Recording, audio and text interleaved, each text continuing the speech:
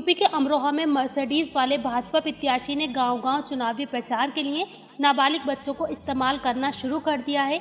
फ़िलहाल बच्चों को टॉफियाँ बांटने के बाद बच्चों से गाँव में स्टिकर और पोस्टर बनवाने की तस्वीरें सोशल मीडिया पर जमकर सुर्खियाँ बटोर रही हैं। फ़िलहाल चुनाव आयोग पूरे मामले से अनजान बना है और मर्सिडीज वाले वीआईपी प्रत्याशी का नाबालिग चुनावी अभियान बेखौफ जारी है।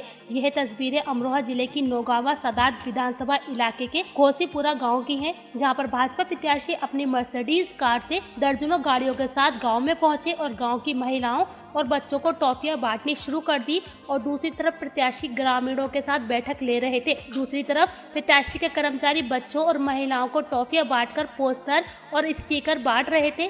फ़िलहाल गाँव गाँव भाजपा प्रत्याशी नाबालिग बच्चों को पोस्टर और स्टिकर बंटवा रहे हैं। भाजपा प्रत्याशी ने नाबालिग चुनावी अभियान छेड़ा हुआ है और फ़िलहाल ये तस्वीरें सोशल मीडिया पर जमकर सुर्खियाँ बटोर रही हैं।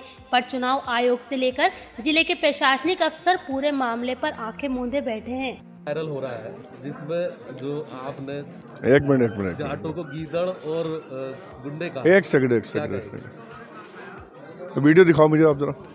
हाँ वीडियो है वीडियो दिखाओ, दिखाओ, दिखाओ। वायरल हो रहा। है जाट शब्द दिखाओ उसके अंदर जाट शब्द कहाँ उसमें सवाल पूछ रहे हैं आपसे कुछ लोगों ने सवाल भी पूछा है आपसे। है? हैं आपसे कुछ लोगों ने सवाल भी पूछा है।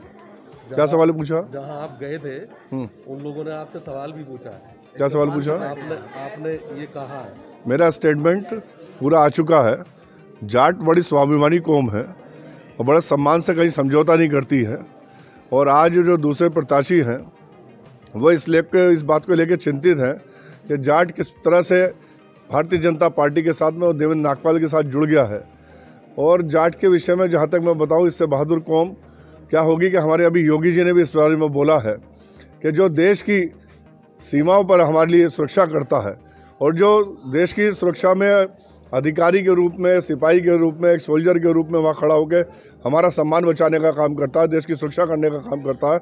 वह बहादुर कौम अगर उससे वंचित रह जाती है तो अपने खेत के अंदर हल चलाकर सोना उगाने का काम करता है। ऐसी जाति के विषय में ऐसी शब्दों का इस्तेमाल करना जो लोग कर रहे हैं वो हताशा के के, के तो उस पर चले गए हैं और निराशा के कारण वो इस टाइप की बातें और इस टाइप का आरोप लगाने का काम कर रहे हैं। मैं उनका बड़ा सम्मान करता हूँ और उन्होंने मुझे इस लायक बनाया है कि मैं विधायक बना, सांसद बना और आगे भी विधायक बनने जा रहा हूँ। ये जाट बरादरी का बहुत पूर्ण रूप से समर्थन मेरे साथ में था, है और रहेगा, ऐसी मुझे उम्मीद है। इनकी बातों में लोग आने वाले नहीं हैं।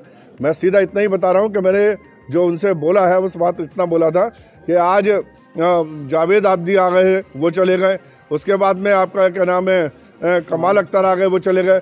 मैंने कहा, महबूब को लेके आओ या उसको लेके आओ क्या नाम आजब खां को या उसके बेटे को भेजो। मैंने आप समरपाल आ गए हैं। ये शब्द बोला मैंने। और उन्होंने तोड़ के उस बात को दूसरी तरह से इस्तेमाल करने का प्रयास कर रहे हैं लेकिन आप देख रहे हो कि चारों तरफ़ कैमरा घुमा के देखो कि कौन लोग खड़े हैं।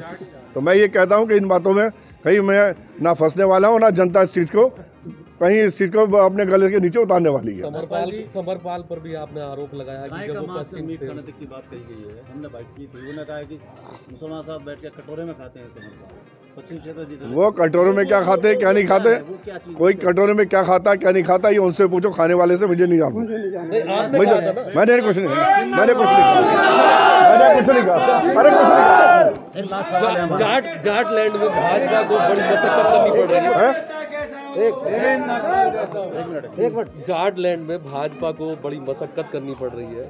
एक एक तरफा समर्थन भारतीय जनता पार्टी के साथ में है और जाके आप जब घूमो और कैमरा यहाँ तक रखो सारे क्षेत्र में घूम के दो तब पता चलेगा। पूरे पूरे जाट समाज का समर्थन इधर लो इनसे लो जाटों से लो। ये जाट से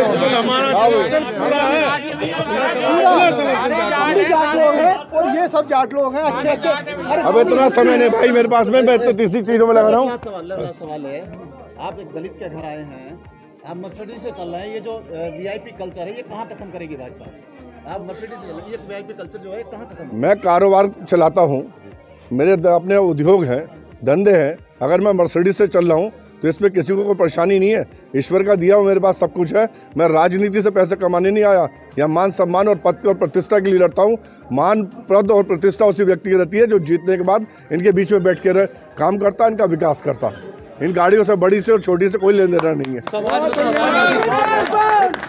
समाजवादी प्रत्याशी रैली नहीं आपने कहा था कटोरे में खाते हैं।